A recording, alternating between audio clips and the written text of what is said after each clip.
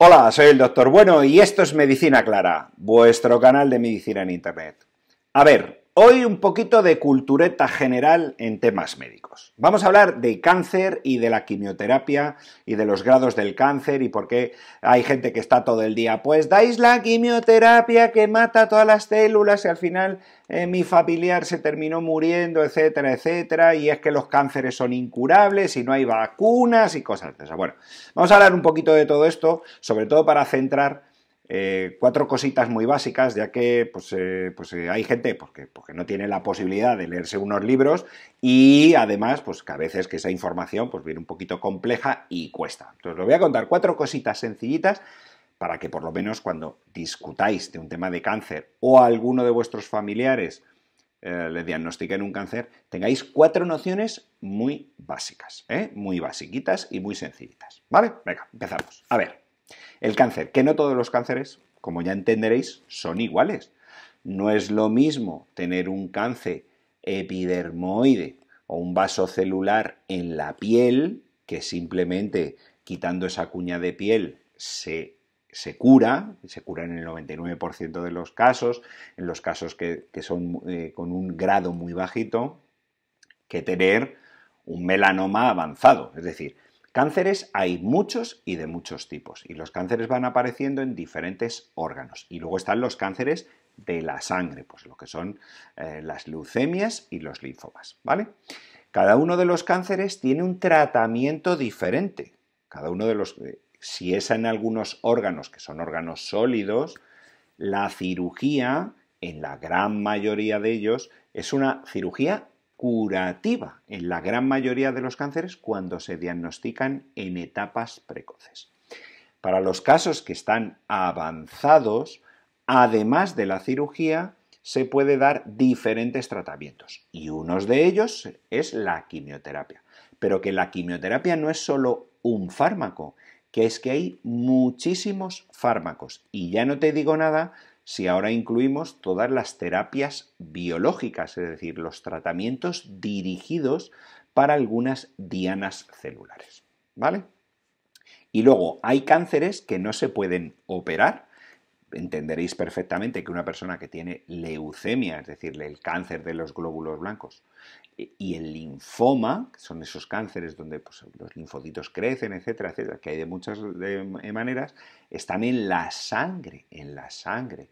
Y entonces esos cánceres no se pueden tratar excepto con fármacos. Pero a esos fármacos se le llama quimioterapia. Muchas leucemias y muchos linfomas se curan se curan con estos esquemas de quimioterapia con diferentes fármacos. ¿Vale? Esto para entenderlo así. Entonces, la quimioterapia no es que entre ahí y mate todas las células. Eso fue los inicios, en los años 1950-1960, donde teníamos muy poco armamento terapéutico. Hoy en día se disponen de fármacos mucho más eficaces, con menos efectos secundarios que todo el mundo dice, se le cae el pelo. ¿Se le caen las cejas? No, no todos los fármacos producen esa caída del pelo, que además posteriormente, en cuanto se termina el tratamiento, se recupera. Sino que existen diferentes tratamientos para los diferentes tipos de cáncer que tenemos.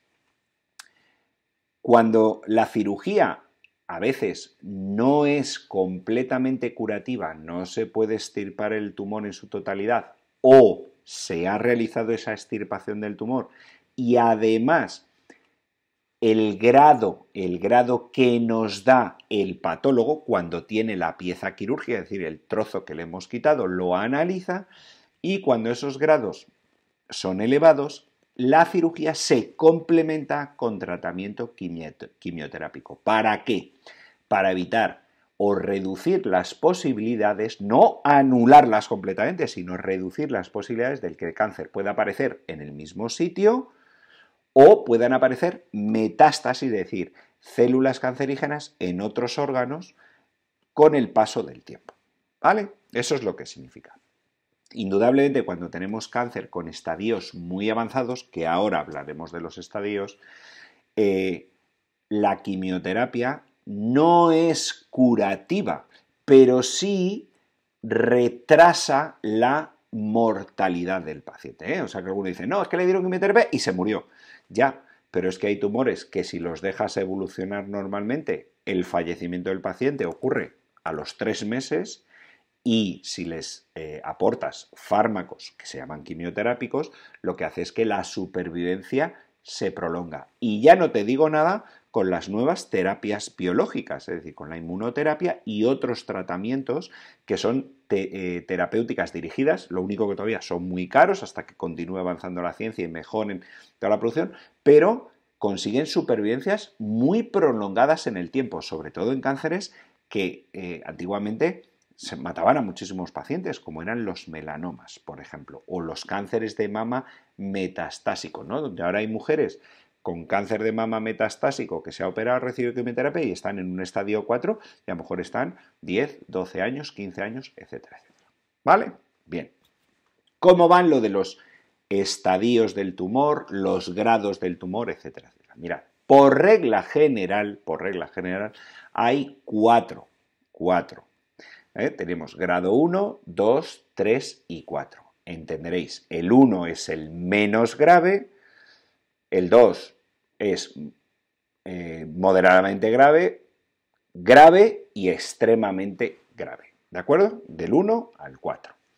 Esos grados del tumor se determinan siguiendo unas reglas que, internacionalmente se conoce como eh, eh, la estadificación tumoral TNM, es decir, tumor, la N de los nódulos y la M de las metástasis. En función del tamaño del tumor, lo, el número de capas del órgano que va afectando, tenemos una T que va desde el 1 hasta el 4, la N, que son los ganglios, los nódulos, son el número de adenopatías, el número de ganglios linfáticos que pueden o no estar afectados, que sería un 0, luego un N1 o un N2. ¿eh? Luego les ponemos además unas letritas en función del tal, pero en función del número de ganglios que están afectados. Y luego la M, que es una M0, no hay metástasis, y una M1, que hay metástasis a distancia. Es decir, que el tumor, además de estar en el órgano principal, además tiene células en otro órgano diferente de donde suele asentar. En esos. Cuando cogemos esa T, esa N y esa M, se mezcla y según un consenso internacional se decide aplicar un estadio 1, 2, 3 y 4. Entenderéis que, por ejemplo, una persona que tiene un T1, es decir, un tumor pequeño, que no afecta a muchas capas del órgano, sin ganglios y sin metástasis, pues corresponde a un eh, estadio 1. Y una persona que ya tiene metástasis y que tiene ganglios afectados, etcétera, pues corresponde a un estadio 4. Entre medias hay mucha variación, es decir, hay pacientes que tienen un T2N0 corresponde a un estadio y otros con otro tipo de cáncer corresponde a otro. Para eso se establecen esas guías internacionales que todos los médicos del mundo seguimos, valoramos y luego individualizamos el tratamiento. Pero esto hay que entenderlo de esta manera. Por lo tanto, cuando dice ¿Tiene cáncer de mama? Pues hay que ver qué estadio tiene, es decir, qué grado de tumor tiene, porque no es lo mismo tener un estadio 1 que un estadio 3, por ejemplo. Es que tiene un cáncer de colon, es que tiene un cáncer de hígado, es que tiene metástasis en el hígado. Hay metástasis en el hígado que se pueden curar con cirugía, con radiofrecuencia, y los pacientes tienen una esperanza de vida prolongada. Por lo tanto, cuando habléis de cáncer, no se puede hablar de forma genérica. El cáncer, no, el cáncer es la aparición de tumores donde no tiene que aparecer. Pero eh, que, hay que hablar del cáncer de un tipo según un grado, un estadio, y luego aplicar el tratamiento individualizado para ese paciente, porque puede haber tumores que pueden aparecer en pacientes que se pueden operar, pero a lo mejor el paciente es inoperable, es decir, pues tiene un, una situación eh, de diversas enfermedades donde no permite que el paciente se pueda operar. Por lo tanto, esas guías que tenemos las individualizamos con cada paciente. Así que, cuando habléis de forma genérica, hablarlo, aunque solo sea con un poquito de propiedad, es decir, esto es así, esto es así, esto es así. Es que le han quimio, ya, ya, pero es que la quimio puede ser antes de la cirugía, después de la cirugía, puede ser eh, una quimioterapia que se mantenga en el tiempo, puede ser para eh, con fines curativos, como hemos dicho en la leucemia los linfomas, o con fines eh, paliativos incluso, pues para que la persona tenga menos dolor, para que tenga eh, una calidad de vida mejor, etcétera, etcétera. ¿Vale? Bueno, queridos, si os ha gustado el vídeo, compartirlo en las redes sociales con familiares y con amigos. Yo soy el doctor Bueno y esto es Medicina Clara. Porque una medicina comprensible es posible y necesaria. Muchas gracias.